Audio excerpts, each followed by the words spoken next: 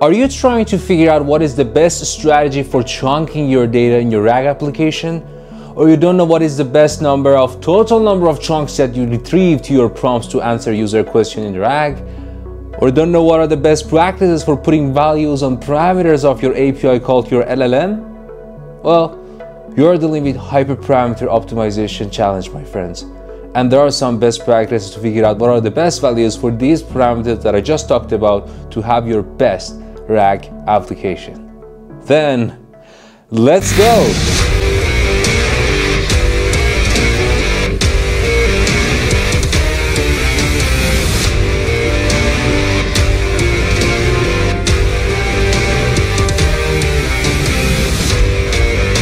Before we start, make sure you subscribe and hit the bell icon so you will get notified for the next video.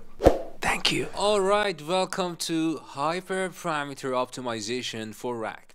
For some of you, hyperparameter tuning might be a new concept, but in general, in specifically AI domain, when you want to train your own models, your own machine learning models, there are some parameters you have to define a value for them before you start the training phase. For example, if you're creating a neural network model, you have to specify how many neurons, how many layers of neurons you have to put inside as a parameter to train your model. And of course, any different value will certainly affect or affect the final performance of your model. So the question is, what is the best practice to put values there? What values are the best one to choose?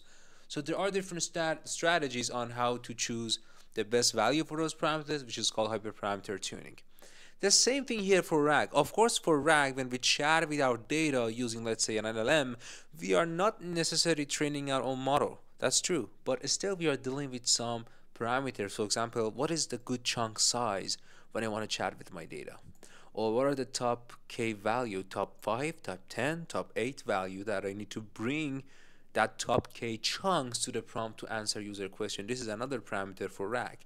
Or in, let's say when you call GPT-4, there's a parameter called temperature, top P. These are different values that when you change them, that will considerably change the performance of your RAG or any LLM app. So if we have to come up with a strategy on how we choose the best values. Here, these two just an example of parameters that we use for RAG.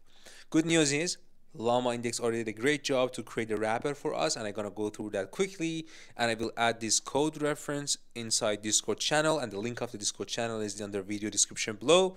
You will go there and there's a reference section in Discord channel. You click on it, you will get access to this code. So obviously I need to install some packages from Llama Index. I already did that in Google Colab. You just need to run it anywhere that you have Python so I don't want to go through these packages. You can check from the code.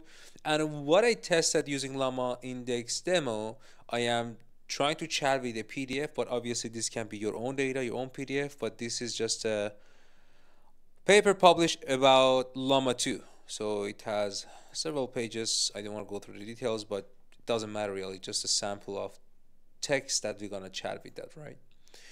So we downloaded that in our local directory and in order to create index out of it we have to load PDF reader from Llama index and we have the path specified which is our local directory that we downloaded the PDF and we need to certainly parse this document as needed for later on chunking it. Now for evaluating what's gonna be the parameters, a good choice of parameters for our RAG, we need to evaluate the results, right? For example, if my chunk size is 512, I need to evaluate my RAG to see if it's a good answer or not. It's a good choice of a parameter or not. If not, I'll go to another value, let's say 1024. So I need evaluation data set to check how good my um, RAG is. That's why there's another JSON for, uh, file that I downloaded, so I'm going to show you quickly what it is. This evaluation data set has list of questions about the PDF I showed you, which is, for example, what is the primary objective of Llama 2? and then the next question next question. If I scroll down here's the answer of that. The answer of the first question the objective of llama 2 the second question which is the answer here so on and so forth. So there's a list of questions and answers. I want to evaluate my RAG based on this Q&A to see what RAG I will have will work better based on the parameters that I choose for RAG so here we downloaded this JSON file I just want to show you how it looked like then we loaded from, from query response dataset which is coming from Llama index evaluation then here, in order to optimize anything, regardless of RAG, AI, whatever, you have to define an objective function. So you should have a function to optimize this. And we're gonna create that. How? Well, if we first import the stuff needed from Llama index, you will see how we call them. Here I'm defining some helper functions to use it in my objective function. So what are helper functions? First, I have a function to build index. It is using local disk, but obviously you might have your vector DB, your own index. So don't think about this is what you must do. And if the build uh, index is not already there, it's try to actually rebuild it and load the index.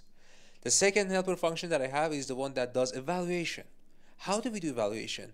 Well, we load that JSON file that I showed you and using OpenAI embedding model, I will do the semantic similarity between the answers that I have in the JSON, which is my ground truth, versus the answers that the chatbot will give to me. If the similarity is too high, that means, yeah, the chatbot responded as we had in our ground truth data set, so we get a good score. That means our parameters that we're tuning are good for RAG. So we have these helper functions, and we now we need to call this to the objective function. This is the function we're gonna um, optimize. So what what are the inputs of these functions? The input's gonna be the parameters that you're going to optimize. The chunk size, docs is fixed. At the top K, you're gonna optimize this ground truth data set and the responses of that. So you need, you need to have these two for the evaluation. And we build the index using the helper function we define on the top. Obviously, you need to query this to check the similarity and compare that with your evaluation data set here running calling the evaluation helper that we define on the top and then we calculate the mean of similarity score for all that evaluation JSON file. Okay, so you can actually run it uh, asynchronously as well if you want to have that scale, but here it was just a synchronized call. Now there are two ways that you can, in Llama Index, optimize those parameters. The first one, which is the default one, is imported by param tuner. This one does grid search. What does that mean? So when you load this, you're just gonna tell, here's the objective function that I'm gonna parameterize, uh, sorry, optimize with these parameters inputs. What are the parameters inputs? We have defined that here. I want to see if this chunk size is better or this one is better or this one. I don't know. How about top K? One is better, two or five? Which combination of these two is better? These are the parameters that we need to find the best answers for that and you have some fixed parameters. For example, documentation is fixed or the reference evaluation data set is fixed. So you to define this as a, as a, as a list here and then you load it inside param tuner and it will start optimizing for me through grid search. What does that mean? Grid search will use all combination of your parameters to check which one is better. For example, it will choose first chunk size as 256 with top K1, with top K2, and with top K5. Then it will choose this one as a chunk size, again with top K1, top K2, top K5. So you will say that, oh, MG, that's pretty expensive. It's gonna try all the combinations of these parameters to, to um, optimize. You're right, but the, the value is you're gonna try everything possible and get the best one. What is the cons, pros and cons? Well, it's expensive. So one way is doing that, and obviously after running this, it tell me here's the similarity score. That's a good one. And when I choose top K as two out of these ranges, this one, and when the chunk size is 512, which is this one, you will have the best RAG. Problem solved. Now, what are different ways? MG, I might have multiple parameters, not just two parameters, and more values. It's gonna be too expensive and also sometimes very uh, timey. It gotta takes time.